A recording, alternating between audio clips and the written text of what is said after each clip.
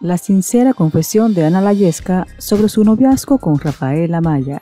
La actriz habló en una reciente entrevista sobre la relación de pareja que mantuvo hace años con el protagonista de la superserie El Señor de los Cielos. Ana Dayesca concedió recientemente una entrevista a la periodista Mara Patricia Castañeda, en la que habló largo y tendido sobre su vida y su carrera. La actriz de exitosas telenovelas como La Madrastra y Querida Amiga recordó sus primeros años de vida en la ex Unión Soviética, su llegada a México cuando aún era una niña y sus inicios en la televisión.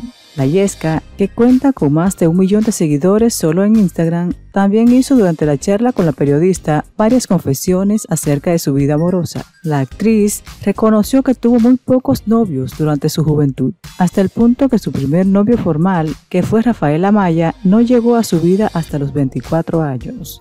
Rafa fue mi primer novio en la vida, Digo, había tenido ahí mis noviecitos de ya sabes. Me gustó este y ahorita salimos. Pero novio, novio, novio, no, se sinceró. Preguntada acerca del motivo de su ruptura con el protagonista del Señor de los Cielos, la Yesca señaló que éramos muy felices y buscábamos cosas diferentes. Él se fue a trabajar a España, yo me quería ir a trabajar a Estados Unidos. O sea, como que se separaron nuestros caminos y al final y al cabo éramos muy diferentes, explicó. Nos queríamos mucho, nos llevábamos muy bien, pero caminos diferentes, necesidades diferentes, aseveró la actriz, quien lleva varios años alejada de las telenovelas.